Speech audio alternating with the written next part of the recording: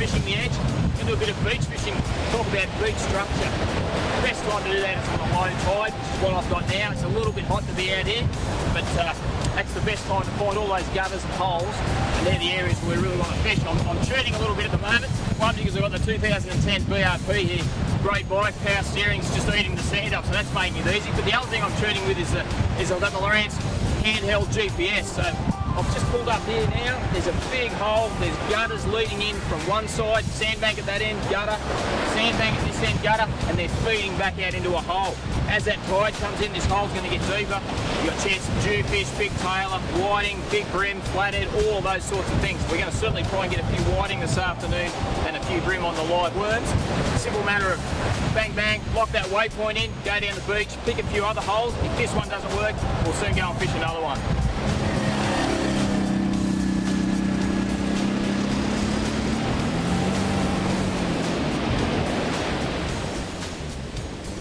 A bit of a bite there. Let's see what we've got. Great thing with the beach, variety of species we've already spoken about, bream whiting, flathead, jewfish, tailor salmon. It's just a great part of the world to be in, anywhere around Australia where you're going to fish on the beach.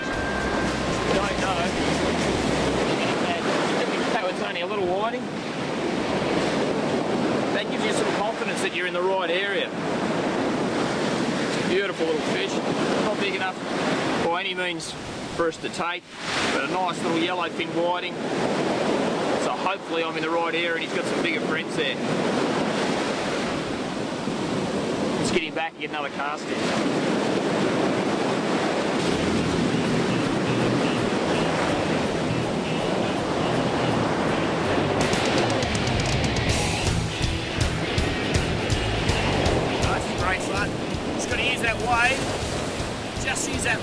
Wave.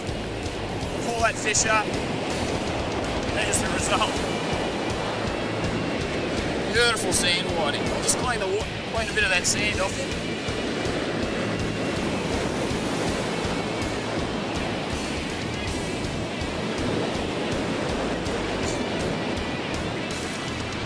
So we can see what he looks like. Look, and this is not this is not rocket science by any means. You want to grab the kids and, and get down the beach, the dog down.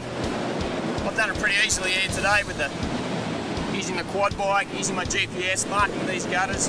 As the light changes, you can certainly uh, pick up some quality fish. That's a beautiful beach whiting. See the difference between the estuary fish? We've got those super bright yellow fins, anal fin there, and those pectoral fins. And any fish that comes off the beach is always, just always seems to be in such great condition. They've got to fight hard. There's a lot of surge happening. They're always very fit, and uh, and certainly one like this for the table, very very tasty as well. So once again, just keep working on that structure. Think about it as a pretty lifeless place, and look for those surgy areas, those banks, and those holes, and fish those. And, and this is the sort of catch you might get.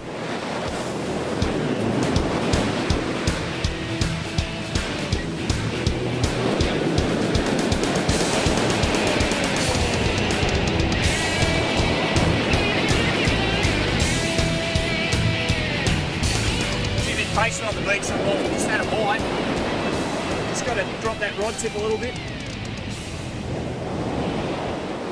Sometimes they can be a bit finicky. Other times, fish on the beach, because there's so much action, just come in and smash your bait. Other times, you just got to drop that rod tip, let it take it, then send the hook. Got another here. I think got a heavier sinker on this one. Hard to feel the bite sometimes. Thing is, I'm fishing with monofilament line on one rod, and then the other rod I've got some PE or polyethylene or braid or or uh, whatever you want to call it on the other line, and there's not a lot of stretch. There's another nice, beautiful beach whiting. He swallowed that down. Luckily, he's a legal fish, and I can either trim him off and let him go, or I can keep that fish for, for a bit of supper. But um, yeah, and, and with that monofilament line, it works like a rubber band. You get a lot of stretch in it. You can feel the bites a lot better with that light braid line, and it's because it's so fine. Um, that's eight pound braid on that rod. This is eight pound nylon. That one's about a third the thickness. Third the diameter. So when the waves break and the wind blows, it's it's a third less, it's two thirds less likely to be affected by by those situations, by wind and tide and everything else and waves. So what that means is that you've got a more direct line to your bait and you can feel the bites.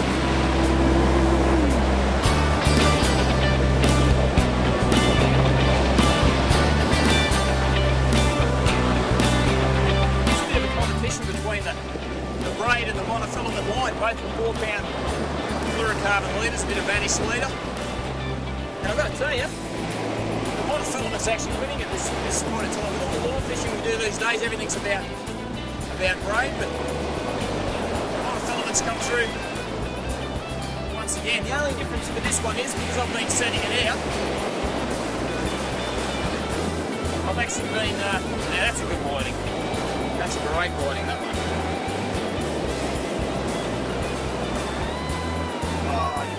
Just using a slightly bigger sinker with this one because I've been casting it out. I've got that top mount sinker so it tends to sit down in the sand a little bit further. So I've been casting that one right out and letting it just uh, just sit there on the bottom. And I found an old stick with a bit of a fork in it. Somebody else has been down here beach fishing and that's been holding my rod up. That's a that's a great fish. It's a great beach whiting, that one. Beautiful fish. And look, we're not talking about 10, 15 kilo, 2 kilo fish. We're just talking about bread and butter fishing. Anybody can go and do it. You can just park your car behind the sand dunes, walk down here, get yourself some beautiful whiting like that, bream. If you've got the bigger gear there, some jewfish. As I said, four pound leader. If the bream come in, you want to go up to maybe eight pound. Remember, it's sand, and there's really nothing here that's, that's going to, uh, no fish that's going to dust you on any reef or anything. Certainly in this beach, plain sand beach. There we go. Slightly better fish, I think, this one.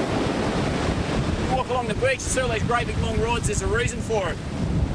You've got to try and get past that break if you can. That's a nice one, isn't Just want to get past that break. The shorter your rod, this fish in first, we talk to you? That's a nice fish.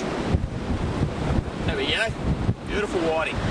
With those shorter rods, just don't allow you to cast out and hold your line up above that break. So if you've got that break dumping on your line, all it's doing is dragging your bait back into the beach. It's going to get rolled over and tangled up. So longer rods definitely are the go. You can buy some pretty cheap two-piece beach rods. This is some old one-piece ones. I've had them for probably 20 years. I don't do that much beach fishing anymore, but they're always there to use. And get me a few quality fish like that.